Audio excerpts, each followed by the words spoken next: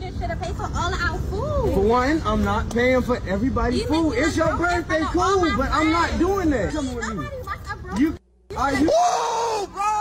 If you have an entitled young lady like this, you have to understand that not only does she not understand the concept of money or the concept of hard work and earning your money, but then all bothers you that another woman is good to her man and you think she's being too good to her man. I just want to know why. It's projection Because for their loss. the woman that you're talking about Projection for what they don't happens have. to be someone that a man is treating like a queen. He pays their mortgage. He makes sure nobody goes without anything they need. I know so many dudes that are like, I want a traditional marriage. My wife should be submissive to me. What is she submitting to? Poverty? These dudes have no house, no car, no savings, but expect their partners to do all the cooking, the cleaning, the child rearing, because that's how it went in the 1950s. Okay. You know what else happened in the 1950s? Men were supporting entire families on One one salary. salary.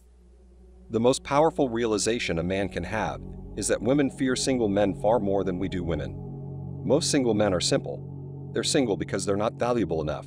No one wants them, or they haven't worked hard enough on themselves to earn the respect of women. Simply put, single men are afraid of approaching women for fear of coming across as creepy and being rejected. What if I told you the game is completely different? Single men are actually feared by modern women. Not one as in singular, but women fear single men, and the more single men appear, the more they have reason to be concerned. We need to unpack basic women's biology and mental reasoning for understanding this. I've already discussed hypergamy on this channel and how women are always looking for the best man. Now let me discuss how women value their self-respect and perception. Once you understand that, a lot of things will fall into place and begin to make sense. Women are the symbol of beauty and attraction. This is widely accepted and is their main selling point. That is why women are used as a symbol for lust and love, because a woman's greatest arsenal is her appearance. That's what made her a desirable woman in the past, why the beauty industry exists, why jewelry is hundreds and thousands of years old, why makeup dates back to ancient Egypt, and why women base their value on their appearance. The more they can look like that, the better suitors they will attract. She will have a large pool from which to choose her desired man, and she will almost certainly choose the highest value among them. That means the largest factor of a woman's worth in society is the size of the pool she can attract. If no one asks her out and she is rejected, she will lose all self worth. If you think rejection hurts you as a male, go see how badly women take rejection. Women absolutely lose it when they are rejected. They are simply not used to it.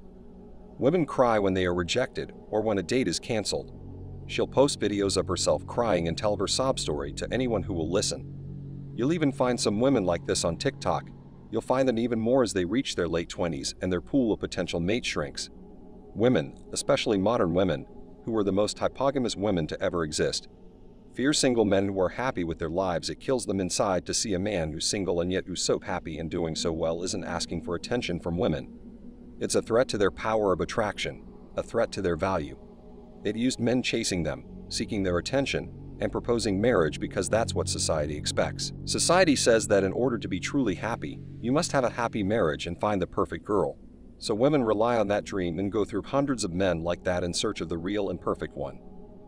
Single men are sort of like rebels in that system because they have defied what society has told them to do over the years. Many accomplished and intelligent men recognize that women are simply overrated. This is not just my opinion. Every stand up comedian and wealthy man with easy access to women will tell you that they calculated the costs as a reward ratio and found it to be unfavorable. In fact, when you factor in modern issues such as harassment laws, divorce traps, and accusations, the risk to reward ratio drops even further. Many men who had negative experiences with women simply quit and began living their lives as bachelors, working out, starting businesses, and traveling to find a greater form of happiness, happiness that a woman could never provide. Men understand female nature and no longer want to play that game. They even got over their biological tendencies and stopped linking their happiness and self worth to the women they contract instead. They started depending on their purpose in life, which is a killer blow to the woman who expects men like these to hit on her in the club so she can get free drinks, luxurious dinners, dresses, and post all about it on her social media. It's a huge threat because she no longer has power over men. If these men inspired even more men, women would be chasing men, while men would be too focused on their goals to care. Keep in mind that women's attraction and beauty are limited, and the moment she hits the wall, she will exit the dating market. A man, on the other hand, has nothing to lose, and by remaining single, his value will continue to rise. If she doesn't get a man early on, she's in big trouble.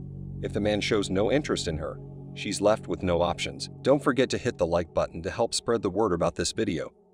Thank you for taking your daily dose of red pills, and remember that a red pill a day keeps bad poker hands away. So have a good rest of your day and cheers.